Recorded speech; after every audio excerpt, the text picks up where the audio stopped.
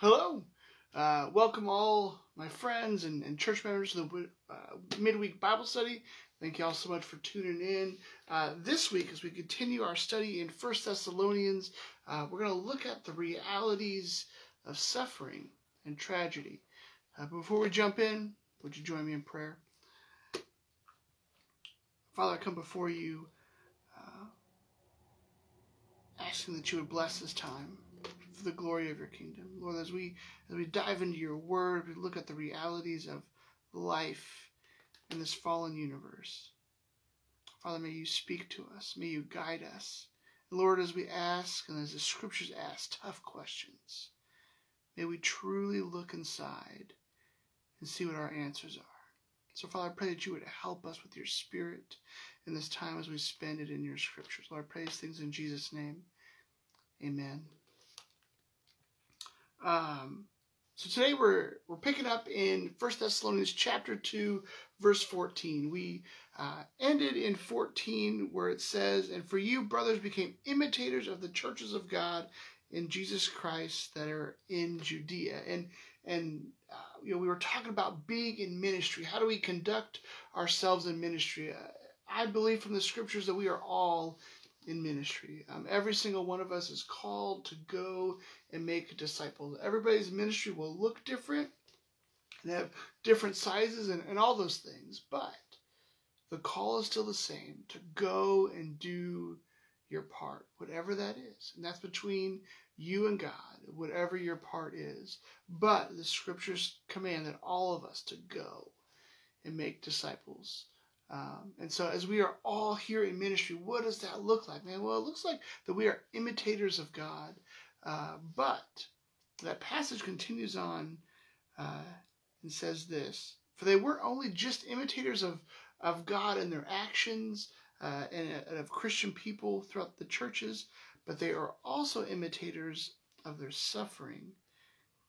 For you suffered the same things from your own countrymen as they did from the Jews, who both killed the Lord Jesus and the prophets, drove us out, and displeased God, and opposed all mankind, by hindering us from speaking to the Gentiles that they might be saved, so as always to fill up the measure of their sins. But wrath has come upon them at last.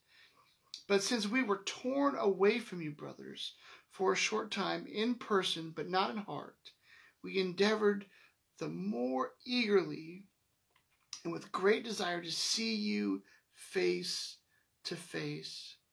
Because we wanted to come to you, I, Paul, again and again, but Satan hindered us. For what is our hope and our joy or our crown of boasting before the Lord Jesus in his coming? Is it not you? For you are glory and joy.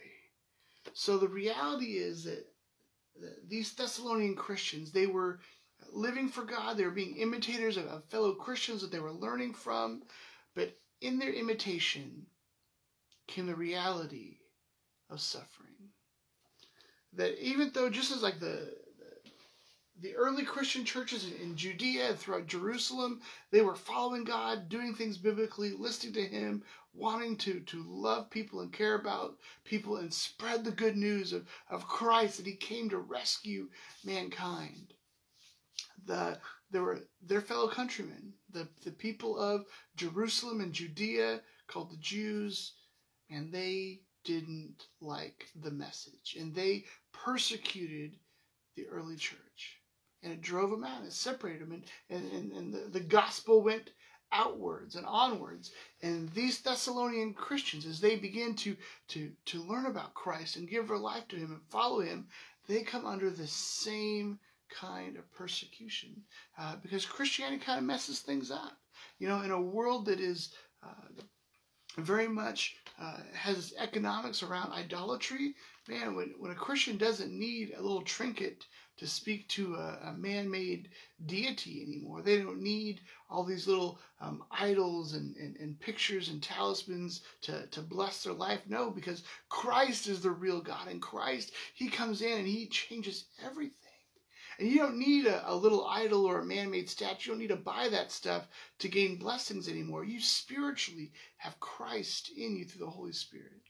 And you can speak directly to God Himself through Jesus. That's, that's the miracle of Christ, that you can know God. And so Christianity really comes and it messes things up. We saw that through all of Acts. Um, uh, when we went through our study of Acts, man, Paul would call, come into these towns and people would get mad. You know, he would mess up their businesses. People wouldn't be buying their idols and and uh, their little statues anymore. You know, because they don't need that anymore. They don't need all these uh, man-made religious artifacts. You know, uh, man, Paul would cast out demons, and so people couldn't use uh, demons anymore to, to tell the future. Um, or, or maybe Paul would mess with people's philosophy and go, and you think uh, that God over there and that statue is the real God. Man, let me tell you about the real creator of the universe. Or maybe he would mess, or, or you know, man, things would, uh, the Jews would get uh, irritated and mad because everything in the Old Testament points to Christ. But they didn't want to change. They didn't want to accept the Messiah and believe in him. So they kept just doing things what they've always done. And, and it would pull people, they would see the light that that everything points to Christ, that Christ has come, and that Jesus is the way, the truth, and the life. No longer the sacrificial system. And it would pull people out of the synagogues, and, and the Jewish leaders would get mad and irritated and frustrated, and they'd run Paul out of town, and he'd move on to the next one. And so the reality is uh, that, that Christ changes things. And the suffering comes with those those changes as well. You know, following God, being a part of, of God's plan, serving Him, loving Him, obeying Him, does not exempt the Christian from suffering. It's the truth. Now, there have been many times in my life, uh, I've, I wish I had gotten that message. Because there are times in my life, man, I've been so mad at God. Like, Lord, I, I'm doing all these things for you, and this is how you do. This is how you hurt me. And maybe you feel that way too. Like, I mean, you, you know, you, you, you feel like you're, you're following Christ, you're closer than ever. And man, then hardship after hardship, pain after pain comes your way. You're like, man, I, I thought God was supposed to make my life better. But the truth is that suffering comes for all of us. That the Christian is not exempt from, from pain and trials and tribulations, or whatever you want to call it. We're not exempt from that, but it is part of our life. It's part of the reality of living in a fallen universe that is cursed for rebelling against God. The difference is, is that our suffering and the hardship we go through has purpose now. Because we can tap into God and go, Lord, why? Why'd you let that happen? What what purpose does it serve in my life? God, in all your infinite wisdom and all your knowledge, as you see everything, and with all your power and your might, why did you let this happen to me? Why did you okay and approve the suffering that's going on in my life?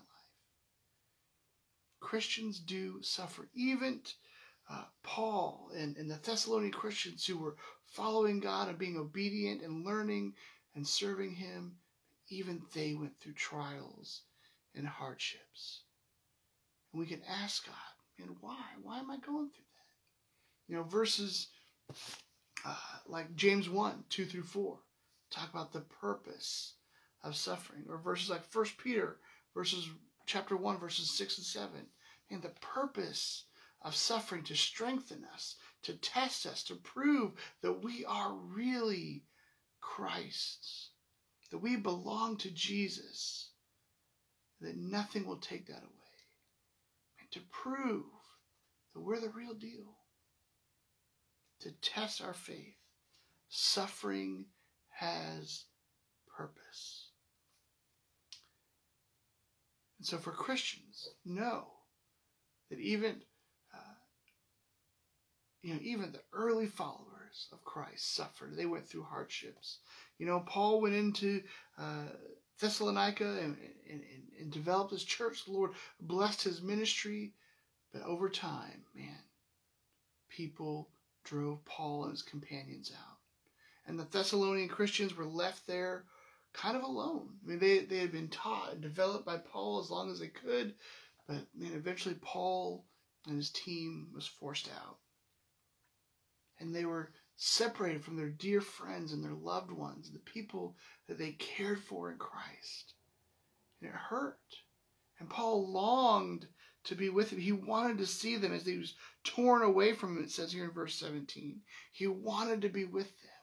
You know, they were torn, he recognized they were torn away in person, but not in heart. That through Christ they were still together. But how? How do you get through that kind of pain? You know, so so suffering is a reality of, of life, even for the Christian. God doesn't protect us from suffering and hardship, but He does give those things meaning and purpose in our life.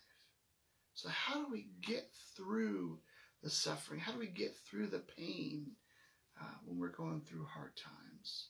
Well, that's how, how did Paul do it?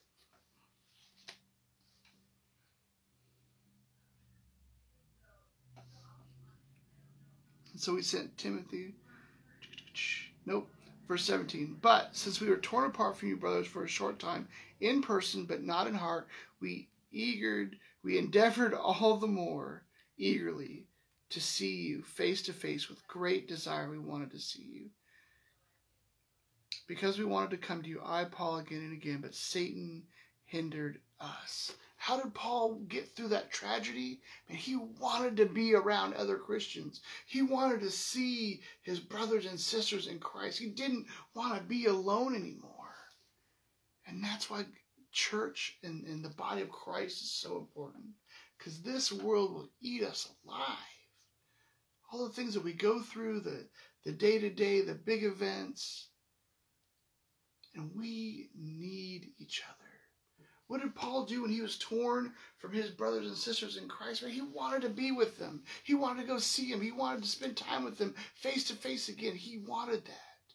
He craved it. And so when we're suffering, we're going through hardship, and we need each other. We need to be there with one another. We give each other phone calls and spend time with each other when we can. That's why church is important, to give us a place to, to gather, to be there, and to lift one another up to encourage one another, to give each other a shoulder to cry on. Because we're not called to be alone. The Bible tells us that Satan is a roaring lion looking for whoever he can devour. You know how a lion hunts? When they look for the one that's hidden away from the crowd. They, they see the herd, but they find that one that's a little bit too far off. They see that one that's not paying attention. They find that weak one, that slow one, that one that's alone. That's how they hunt. They don't go after the biggest, fastest antelope and, and catch him and tear him down. No. They go after the weakest, the loneliest, the most vulnerable. And Satan is like a lion, looking for who he can devour. Brothers and sisters in Christ, we cannot live a life alone. You know, people will say, man, I don't need church. I don't need the family of God. I just got my Bible and, and prayer, and, and I'm going to learn everything I can. I'm going to have that relationship with God. And it doesn't turn out real well. This world eats you alive. Life is tough.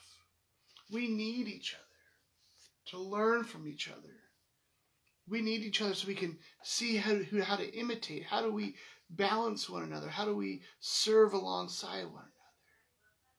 We need each other. And we're going through hardship and suffering. Man, Paul recognized that. Even though he was torn away from the Thessalonian Christians, like, man, I want to be with you. I miss you guys. I don't want to do this alone. That's how Paul wanted to get through his suffering. You know, he, he wrote them letters. He sent out uh, other companions to, to get news back and see how people were doing. Man, he wanted to be with people. And so the same for us. And we're going through hardship. We got to make sure that we are spending time with fellow Christians, that we're not alone in, uh, in this life, that we're not suffering alone and hurting all by ourselves in the darkness, but we're sharing with one another and being lifted up and lifting up one another. Another purpose that suffering has is it makes us ask some very tough and very real questions. Listen to Paul as, as he is experiencing the suffering, as he knows that he is being hindered by Satan himself, uh, and uh, as he doesn't get to do what he wants to do. Paul asks some very important questions here in 19. For what is our hope, our joy, or our crown of boasting before the Lord at his coming? Suffering has a way of challenging us in our thoughts, in our process, and in our suffering, in our hardship, we see who we really are. You know, it, the pain causes us to go to what we really want, what we really desire. Suffering brings out those questions. What's our real hope? What is our real source of joy? What is it? You know, uh, for Paul in this, in the, you know, he asked the question about his hope. What is our hope? What is our joy? And in this passage, he answers, what is his joy? But the hope for Paul, when you read out through all of his writings throughout the scriptures, Paul's hope is Jesus Christ. And when we're suffering, it makes us ask, man, what is, what is my hope? What, what gets us through the day? What gets us on to the next thing? Is it, are we like Paul? Is our hope Jesus Christ? Man, for, for Paul, Jesus was everything. You know, it, you know, Paul's hope wasn't built on his good deeds. It wasn't built on his discipleship. It wasn't built on his Bible memorization. It wasn't built on his attendance. Paul's hope wasn't built on his spiritual gifts and the miracles he did. Paul's hope alone was on Christ and the resurrection. Because if Jesus Christ is raised from the dead, everything that Jesus says is true. And it proves that he really is the Son of God and that salvation really is through him. If Christ is raised from the dead, then when Jesus says, Nobody comes to me, no one comes to the Father except through me, man, that's real. You know, when Jesus says he lays down his life as a ransom for many, that, that's real. When Jesus says, I am the, uh, uh, the way, the truth, and the life, or when he says, you know, John 3.16, right? You know, uh, no one shall perish, but everyone who believes in me will have eternal life. Man, that's real. That's true. If Christ is raised from the dead, and and and Paul, his hope was built on Christ alone, not on his good deeds, not on his his uh, his actions or his prayer life or anything that Paul did, but Paul's hope in, for everything was on Christ, and on the completed work of Jesus at the cross and the resurrection. That was Paul's hope. And so we, we go through hardship and pain, and we experience issues and setbacks. What is your hope? What is that source of energy that drives you on to the next day or gets you to the next goal? What keeps you going day after day? What is your hope in? Is it in governments? Is it in pieces of paper? Is it in constitutions? Is it in your abilities? Is it in swords or weapons or firearms? What is your hope? What do you rely on? Is, it, is your hope built on uh, civilization and people is it built on family? Is it built on friends? See, the thing is, all those things crumble. None of those things last forever. Only Christ. Only Christ lasts forever. When this world passes away, the Lord Jesus will be there.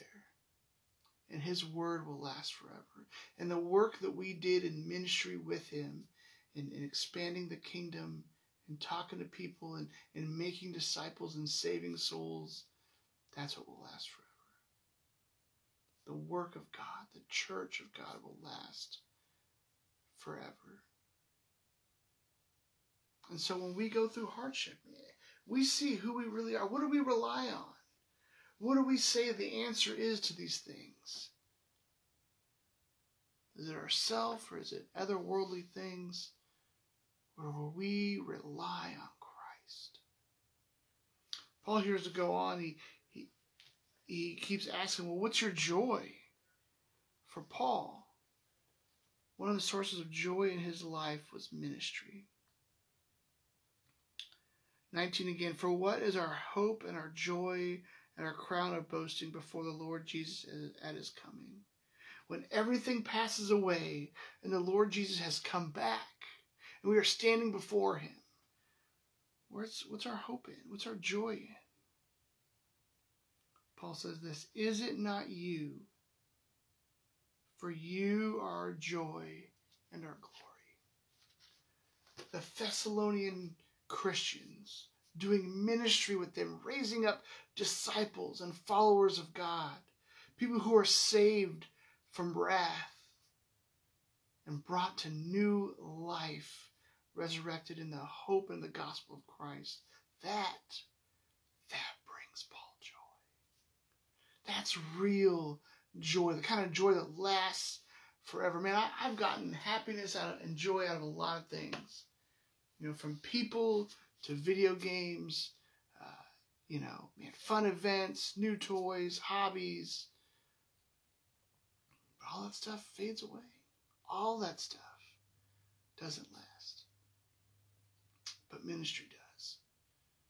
Telling people about Christ, changing lives, giving people new hope, a second chance, forgiveness, all that found in Christ ministry. Brothers and sisters, that lasts forever. And, uh, and the, the timing that we would come upon this passage, you know, man, as, as the world goes through pain and hardship and sadness, what's our hope in? What do we really find joy in?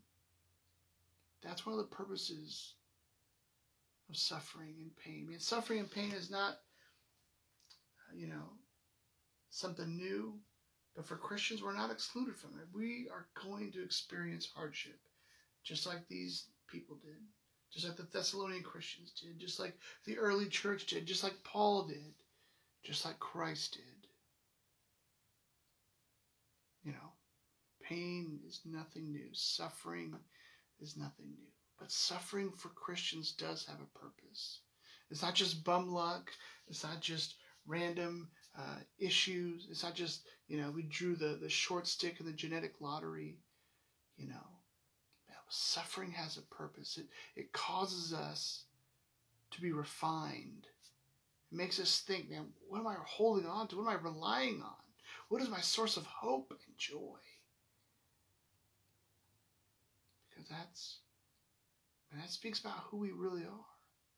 And so, because suffering causes us to look inward and to grasp for, for something, for anything to keep us going, it makes us ask those questions. And we get to see who we really are. When we're down and we're broken, what do we reach for to get us going, to keep us alive? What do we hope in? What's our source of joy? And Paul asks tough questions while he's hurting, why he's alone, why he's longing to be with his fellow brothers and sisters in Christ as he's torn away from them, he says. And our suffering should do the same. Make us ask those questions. So for you today, uh, maybe write down in the comments, man, what are some things that you struggle with that, that hold on to your hope and your joy? You know, it, it should be Christ. Man, I, I know for me it should be too, man. And, and, and in this hardship, man, even I've got to stop and go, man, what am I holding on to? What's my hope? And what's my joy? Where do I find happiness and peace in? Because I'm fallen, I'm human, I'm just like everybody else. I'm not perfect. And I need to be refined and I need to work. And Jesus is working on me, especially through this passage. And so I would encourage you, figure that out. Where's your hope and joy? Yes, suffering is a part of life, but for us it serves a purpose. And we need to get through it together. That's one of the best ways that we're not alone, that we need each other. All right, let's close out in prayer, shall we? Father God, thank you so much for giving suffering and pain purpose in our life. The Lord, that you ask the tough questions in scriptures so we can reflect upon ourselves, that your Spirit can guide us and convict us as you see fit. Lord, we need you. And so as we go through pain, may we be like your servant Paul and ask those tough questions. And may we grow through the hardship and become more like your Son as we are refined.